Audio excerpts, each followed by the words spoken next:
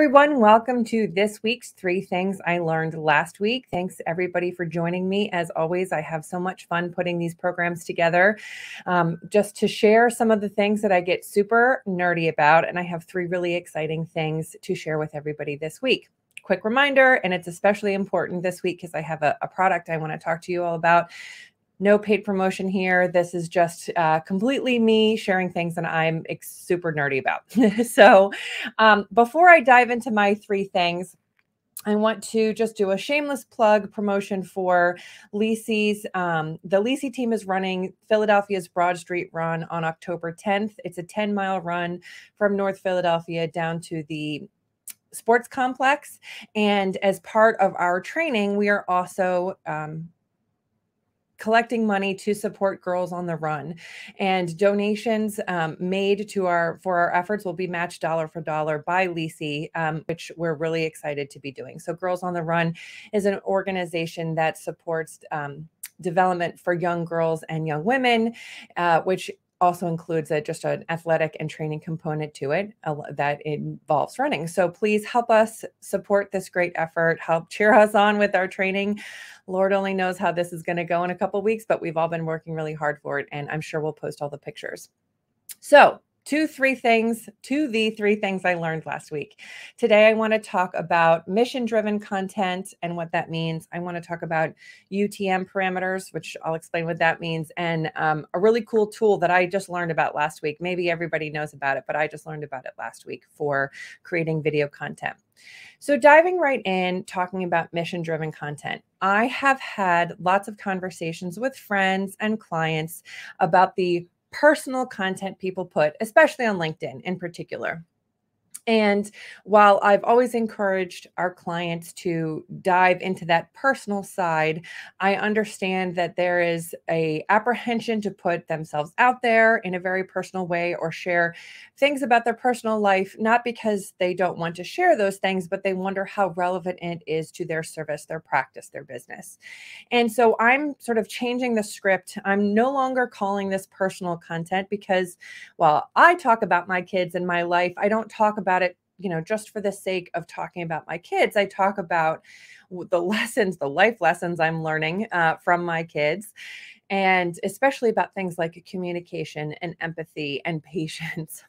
Um, so i'm calling that content now rather than personal content think about it as mission driven content what are the things that you're experiencing in your life that are related to your mission as a professional as a you know in your career whatever the case might be so just think about that in terms of flipping the script. Don't think about it as personal, think about it as your mission.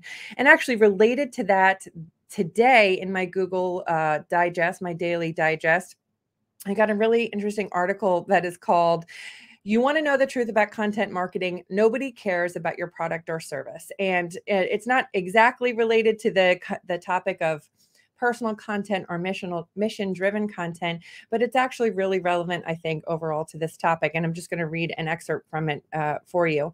So it says, develop content talking about the problems and needs that this market niche, your ideal client uh, target audience suffers and educate them about the possible solutions that exist. In a very subtle way, you are letting them know that you are an expert on the subject and that you know how to solve it you are doing an exercise in persuasion. And they have some best practices in here, and I'll post the link to the entire article um, in the comments below. But here's the number one thing, and I do think this is where it connects to mission driven content always ask why. As you're preparing to post a piece of content, always ask why.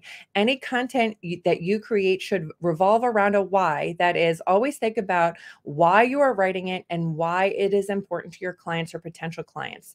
So, again, going back to that personal versus mission driven content if you um, are thinking about the why, what is the purpose of posting this content for your audience, even if it does uncover a personal story or a personal anecdote?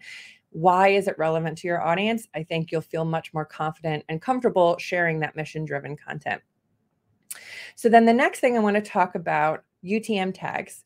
UTM tags, it's urchin tracking module. It's specific to Google and it's code that's attached to any URL um, to generate Google Analytics data for your digital marketing campaigns. I'm giving a presentation for the Legal Marketing Association Baltimore local steering committee on Wednesday about building digital marketing campaigns. And um, one of the key elements, in my opinion, is developing a really strong um, process and strategy around tagging around uh, UTM parameters. So why do you need them? Um, for a few reasons. It lets you get really granular with the data. So, you know, of course, in Google Analytics, you can see all the traffic that comes to your site or a particular page from social. But UTM tags, UTM parameters allow you to get very specific to which platform and um, which campaign it relates to and sort of paints a much more rich picture of how your campaign content is performing. So I'm just going to give a very high level overview of UTMs. I really encourage you to um, reach out to me if you have any questions or if you want to talk more about them. Um, or if you're really interested, you're welcome to register for the program on Wednesday. I'll put, again, I'll put a link to register below in the comments. But at its core, there's several parameters that you can set up, and you can set them up in your marketing automation tool, in your social scheduler, um, or if you don't even have any of those, quite yet, you can um, use the Google Campaign URL Builder. It's a free website. You can go in and fill out all these parameters, and it will generate that link for you, that UTM link for you. So, um, but at its basic, you are going to need a campaign source. The campaign source is where the content is. That could be in a newsletter, in ads, on social media, etc. The campaign medium is the type of media used. So, maybe, for example, if you have a display ad or a social media post or something like that, and then the campaign name is the name of the campaign. Really important to keep in mind. There's lots of best practices to learn here, but UTM codes are case sensitive. So, um, just keep that in mind. And so here's how you can use them. Like I said, you can track the success of certain marketing initiatives. You can see how well certain social channels promote your content uh, versus when followers promote your content. You can um, track the same piece of content across multiple marketing channels, which is really helpful to see, you know, if it's performing really well on LinkedIn and not so hot on Facebook or Instagram or Twitter or something like that. Um, so if you have Google Analytics, Google will automatically track incoming campaigns and you can access them under audience in Google Analytics. You go to audience and you go to sources and then campaigns. And then you can click on each campaign to view the source and the mediums. Like I said, if you want to learn more about UTM tagging, please go ahead and sign up for the program on Wednesday. And if you are listening to this after September 29th, 2021, um, the URL posted below will actually also include a way to access the recording after the fact. So, last thing I want to talk about today, actually, it's not really the last thing. I have a couple bonus things today, but one of the last of the three things I want to talk about today is tools for creating great video content. I was on site at a client last week, which was frankly, it was glorious to be on site for the first time in months, 18 months.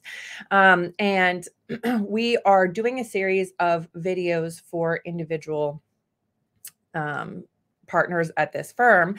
And we're doing videos the best that we can in terms of recording over Zoom. And, you know, it is, it kind of is what it is. I think everybody's sort of making ends meet to a certain extent, especially if they're not comfortable bringing in a video crew and, and really kind of all being together in that way quite yet, which is the case with this firm. And my client shared with me something that kind of changed my world which is a teleprompter that works with your smart device and can lay over your laptop or uh, computer's webcam and actually has a uh, two-way mirror or i don't know how to describe the glass but ref reflective glass at a 45 degree angle. So you've got your smart device uh, with an app that scrolls the teleprompter script in mirror mode which you have to acquire separately but there's lots of free apps for that. And then it plays your teleprompter script or your script so that you can look directly at the camera while you're confidently recording videos. And that changed my world. I did not even know that these existed in an affordable um, way for you know us regular folks. I knew that there were apps that you could use so that if you're recording on your phone, or I even have an app here for my desktop, but I hated using it because I can tell when I read the video as I look down to read the script, it, it's not achieving the same thing. So Full disclosure, I ordered one from Amazon. It is supposed to come tomorrow. um, it is a Glide Gear uh, teleprompter. So I'm going to give it a whirl. I'll let you know how it works on next week's show. So I have two bonus items. Actually, I only have one bonus item because I told you about Girls on the Run at the top of the, the show. Um, I just I, I have to implore everybody who's listening to this to just be kind to one another. If you've ever watched Ellen DeGeneres, she always says that at the end of her show. And I gave a party for my mom's 75th birthday this weekend. We had a caterer, very small, intimate event, but it, we had a caterer for it.